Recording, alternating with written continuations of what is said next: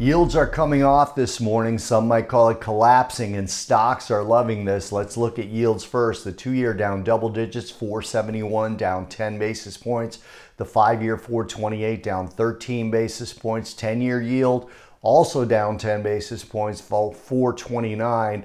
30 year down 7 basis points at 446 and no change in the 2s 10s inversion negative 42 settlement yesterday negative 41 shows you the entire yield curve is coming lower. Stocks on the other hand are moving higher plus 2.74% on the russell 1.30% on the nasdaq. The s&p is higher by 1.03% and the dow is up by 7 tenths of a percent as i speak to you right now. Also, gold, silver, copper, and crude oil all higher. Gold is up 7 tenths of a percent, silver up 2.15%, copper up 1.12%, and crude oil up 1.64% as I speak to you right now. Japanese PPI was higher than expected. Chinese inflation was much lower than expected, but the big one, of course, US CPI. Every rate of change metric came in lower than expected in the CPI figures and all by a tenth of 1%, with month over month CPI headline flat.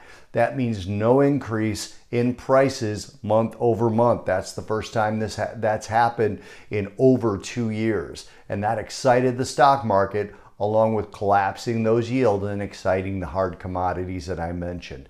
This afternoon, we have an FOMC meeting, and that CPI data is not likely to change what they were going to say in their statement or Jerome Powell in the press conference. As a matter of fact, might take away a little hawkishness. We'll have to see. They're likely to call this a one off data. No rate change is expected, no expected in their quantitative easing is expected either, but that part could happen. We're also going to pay close attention to the dot plots, the SEP, the summary of economic projections. Those are all the same thing. That will be released at this particular meeting. Remember, that doesn't come out at every meeting. Looking ahead, today after the close, we had three companies with market caps of over a billion dollars, and they are Broadcom, Dave & Buster's, and Oxford Industry. That's the big apparel manufacturer. Tomorrow before the open, we have three companies reporting with market caps of a billion or more, and they are Signet Jewelers, Korn Ferry, that's a staffing company, and John Wiley and Sons Publishing.